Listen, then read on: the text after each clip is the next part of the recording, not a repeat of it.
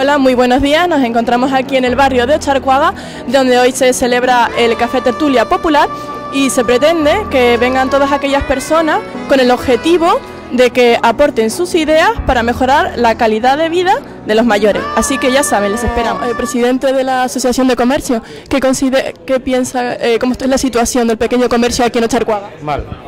Eh, en todos los barrios hay mucha, la situación económica está mal, pero en Ocharcuaga, eh, puesto que se ha creado, en, fin, que hay muchas personas mayores, la mayoría de, de las 3.672 viviendas, la mitad eh, están de ayuda social y la otra mitad son personas muy mayores.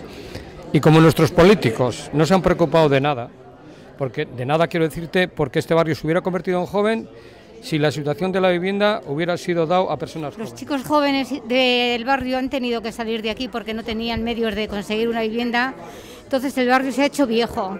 Darse la vida a otro sitio, ¿querés? Han tenido que salir pues, pues, a otras zonas a vivir porque aquí era pues, imposible. Entonces se ha hecho viejo el barrio.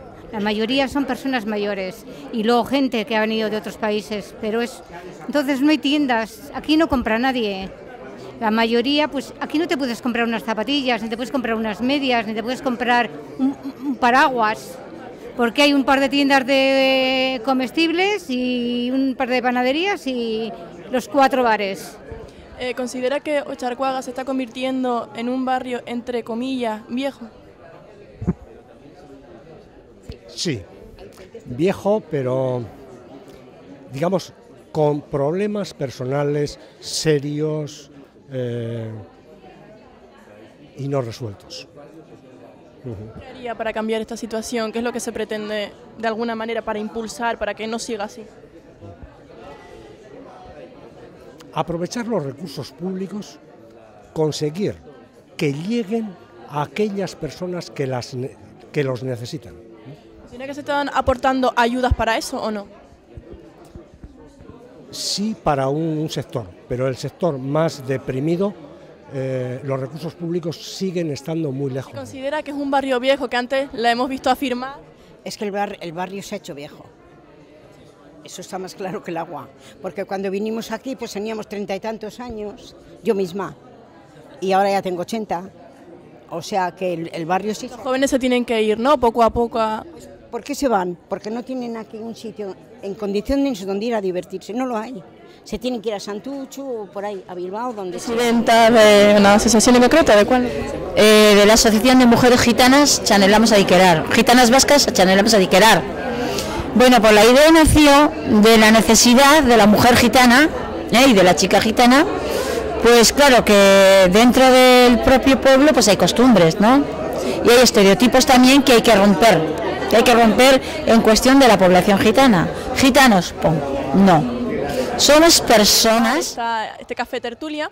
Vamos a hacer unas cuantas preguntas a la coordinadora de ello. Hola, buenas tardes, Laura. Hola, ¿qué tal? Eh, ¿Qué te ha parecido lo que ha tenido lugar aquí? ¿Qué ha servido para algo? Para...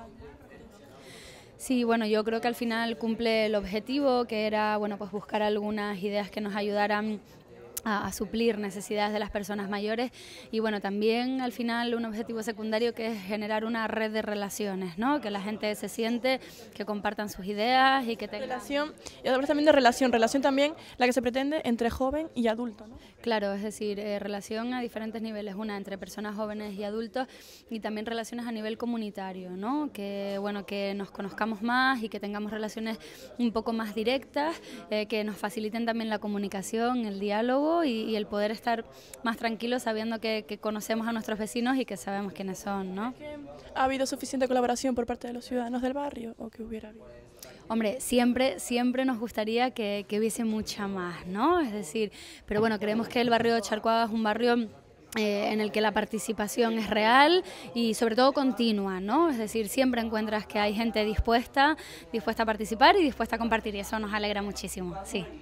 Pues bueno, nos despedimos de aquí ya hoy y con Laura, la coordinadora, y hasta nuestro próximo reportaje. Se despide Romina Cabeza para Ochar Televista.